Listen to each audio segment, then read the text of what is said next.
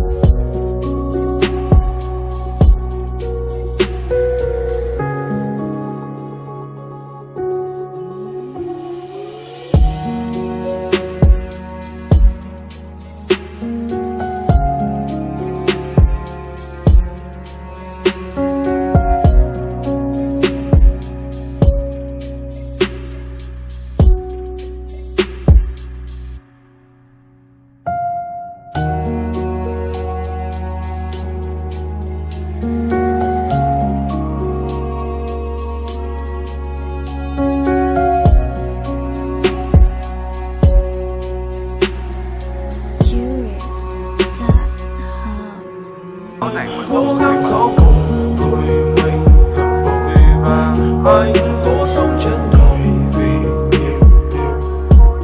Đôi ba chiếc lá trên và là hay đau đớn quá đang sương chiều nằm trên mi mắt trên mi cố gắng sau cùng tụi mình thật vội vàng anh là trong số nào đó sâu nặng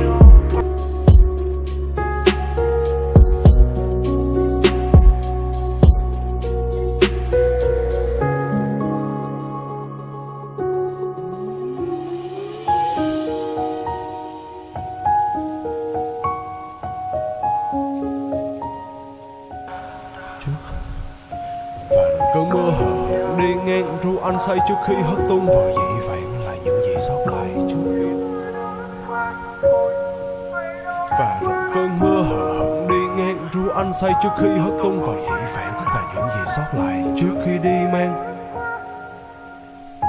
Và rồi cơn mưa hờ hững đi ngang ru anh say trước khi hất tung vào dĩ vãng là những gì sót lại trước khi